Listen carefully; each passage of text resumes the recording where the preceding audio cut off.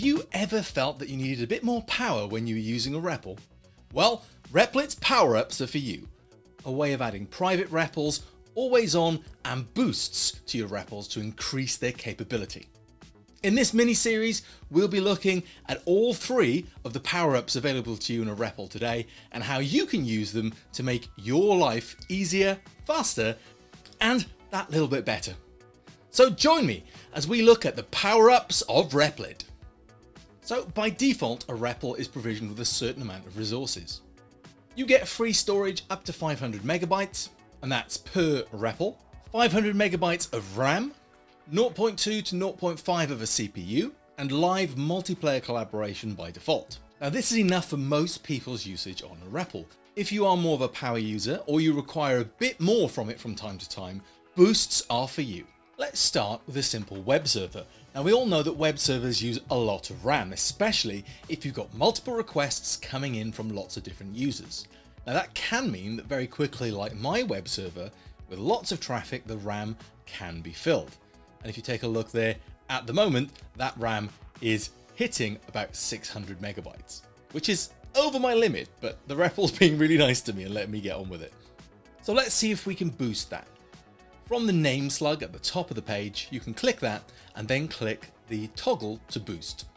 We'll be asked if we want to spend our 20 cycles a day. It's well worth it on any REPL and we can turn that on. Then suddenly, look at my usage drop. The graphs have all gone down into a more manageable state and my RAM is not being hammered.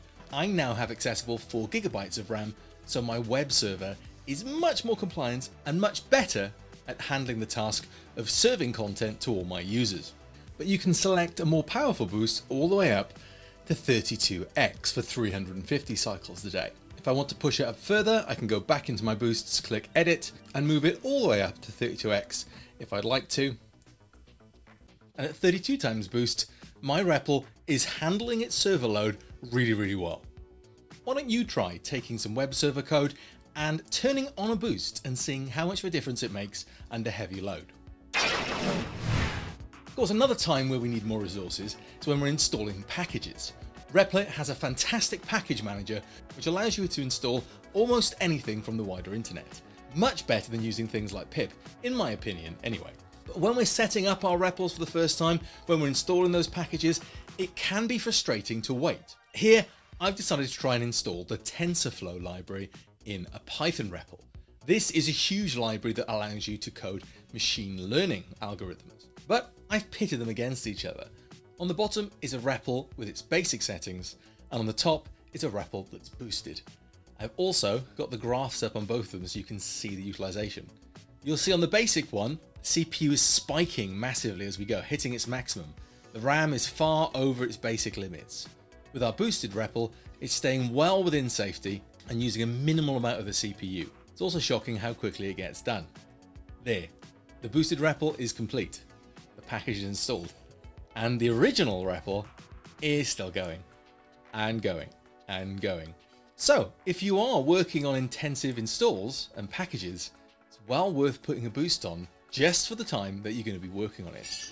Two cycles is a small price to pay for a much easier package management life. Why don't you try installing TensorFlow with and without boosts turned on and see what difference it makes to different REPLs. Or take some of the packages that you utilize on a more regular basis and see the difference that two cycles a day can make to setting up the environment. Another great example of where boosts comes in really handy is any real-time graphics. With half a CPU at your disposal, something like this recent trending REPL, which uses Pygame to do ray tracing, is not getting much above 8 frames a second. But if we turn boost on, almost immediately and visibly, you'll see the frame rate of that animation not only shoot up, but the quality of it increase dramatically. We're getting double almost straight away, and it's looking very nice and consistent. I turn that off, it falls back down to where it was before with the CPU spiking. Try getting that code in and seeing the difference that turning on and off a boost does for your rendering of graphics. It's also really, really useful for high intensity languages. Things like Java that use virtual machines use a massive amount of resources, and as a basic REPL can feel a little sluggish and annoying to use. If you do a lot of Java development, I would highly suggest you turn a boost on, because look at the difference that this simple Hello World program takes to compile and run on a normal REPL versus a boosted REPL. It's night and day, and if you do a lot of Java development in Replit, having a boost on your REPL is well worth it. Your challenge today is very, very simple. I want you to find a combination of packages and code that will really push the basic REPL. Install packages, run code, run web servers until you're maxing out the CPU and the RAM. Do what you'd like, install what you'd like, see what happens. I'd recommend big libraries, graphic libraries, and even grabbing some graphics code off the internet if you can. Once running, compare the performance of the REPL with and without boosts. You'll be pleasantly surprised.